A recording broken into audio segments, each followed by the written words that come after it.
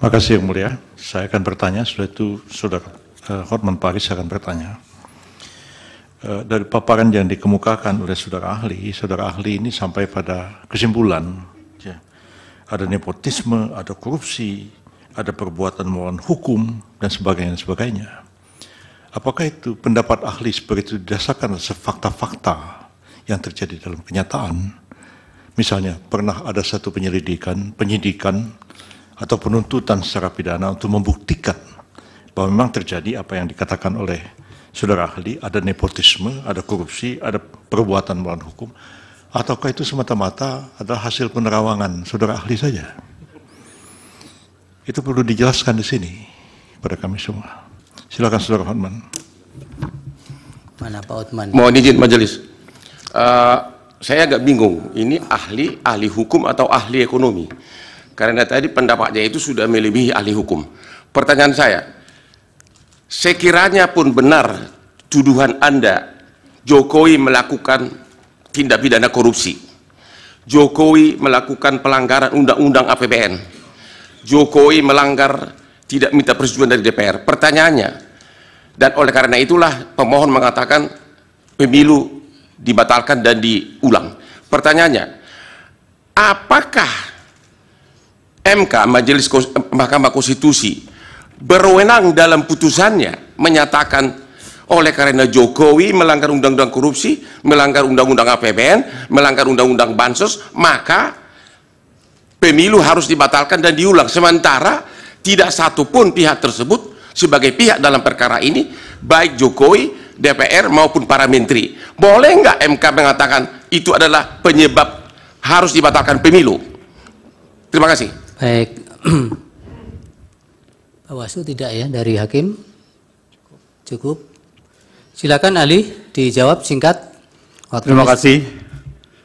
Alasan apa bahwa bansos itu diberikan? Kalau bansos itu legalitas dari bansos adalah setelah disepakati dengan DPR. Apakah ada alasan atau tidak setelah disepakati dengan DPR, setelah disetujui dan diundangkan bahwa bansos itu wajib dijalankan oleh pemerintah. Tetapi masalah di sini adalah tidak ada alasan untuk memberikan bansos yang tidak disetujui oleh DPR dan tidak ditetapkan dengan undang-undang. Demikian. Yang lain? Pemblokiran dilaksanakan dengan apa? Mekanisme dari pemblokiran seperti diakui oleh Kementerian Keuangan bahwa uangnya masih ada di sana. Artinya tidak dipindah dari satu unit organisasi kepada unit organisasi. Cuman nampaknya mata anggarannya yang berubah. Begitu diperlukan dana untuk bansos maka diambil dari kumpulan uang yang sudah diblokir 50,15 triliun untuk dialihkan menjadi uh, tambahan anggaran uh, bansos. Banyak kejahatan yang tidak atau belum terjadi yang belum diusut, tetapi tidak melepas bahwa itu sudah ada kejahatan. Apakah ini nanti ada yang diusut? Ya, nanti kita serahkan kepada siapa yang merasa berkepentingan, apakah pelanggaran-pelanggaran undang-undang, dugaan pelanggaran-pelanggaran dugaan ini, eh, undang-undang uh, ini, apakah akan ditindaklanjuti uh, untuk mengusut secara pidana. Tetapi dalam hal ini adalah pelanggaran ini untuk kepentingan bansos dan untuk kepentingan pemilu dan dalam sidang ini adalah Mahkamah Konstitusi untuk menilai apakah bansos ini adalah legal atau tidak legal. Bansos adalah jelas seperti saya uraikan bahwa itu adalah untuk pemenangan paslon.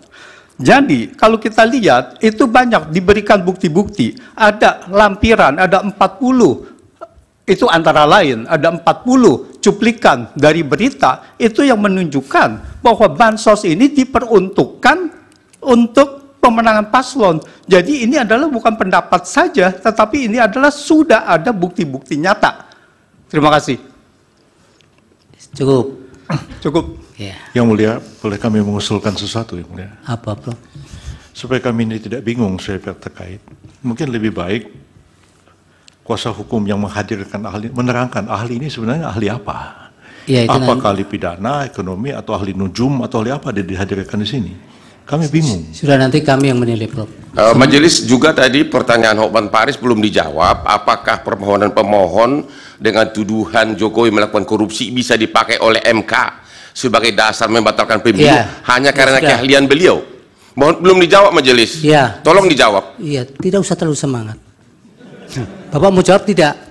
Eh, saya itu serahkan karena keputusannya adalah di mahkamah, ya. jadi saya menyerahkannya kepada mahkamah. Ya, itu, Pak. Bukan wewenang saya.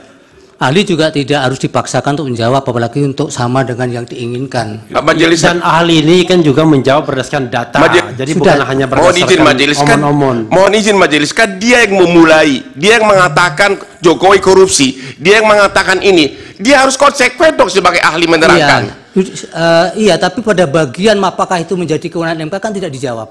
Ya maksud saya dia sebagai ahli harusnya konsekuen dengan jawabannya, jangan cuma omon-omon. Anda tidak bisa memaksa seperti itu. Terima kasih ya, ahli. Keterangannya mudah-mudahan bermanfaat untuk pengambilan putusan.